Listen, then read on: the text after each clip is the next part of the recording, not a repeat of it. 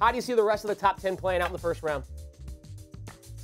I think I'm looking at Chase at six, right? Like when, when you think about the type of, of, of, talent and you know what people talked about being out of LSU, and, and we saw what Jefferson did last year. I mean, this kid can be a significant difference maker going to Miami. I like that. And then obviously De- DeVonta Smith going to Detroit. I think that would be a huge addition. You bringing in Jared Goff back to Detroit, give him weapons on the outside. DeVonta Smith, I know he's an undersized guy, but I like the speed. I like the route running that he gives you. Surtain going to Carolina. Uh, listen, this is the best. This, this is probably the best defensive player in the draft. That sounds crazy to be picked at eighth, but that's really where he'll be. To me, this is the biggest question mark. Does Denver move up at, from from the nine spot? If not, Lance would fall to him. If so, do they try to go get uh, Justin Fields at four? If they get if it gets bypassed, I mean, there's a lot of different things with Mac Jones and all those pieces and parts. I like Denver going to get a quarterback, and then I think the shock of the draft is if Mac Jones is left.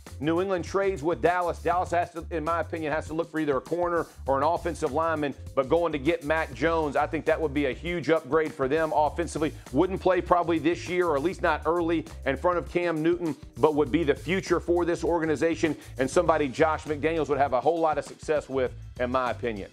I like it. And the connection between Belichick and Bama head coach Nick Saban is obviously one, which those two are very good friends. So that'd be some great information for Belichick. Quick follow up, Jeff. If Dallas doesn't trade that pick at 10, what do you think the Cowboys are going to do?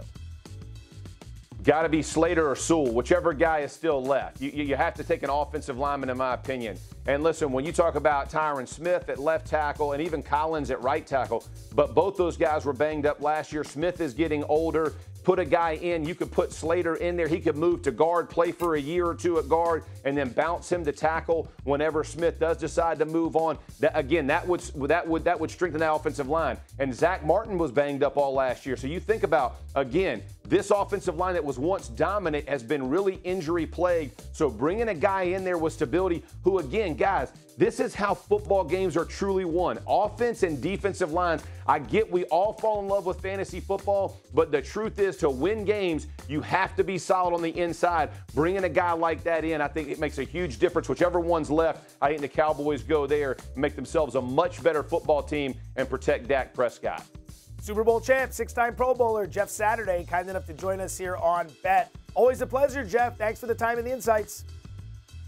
Appreciate it, fellas. See y'all.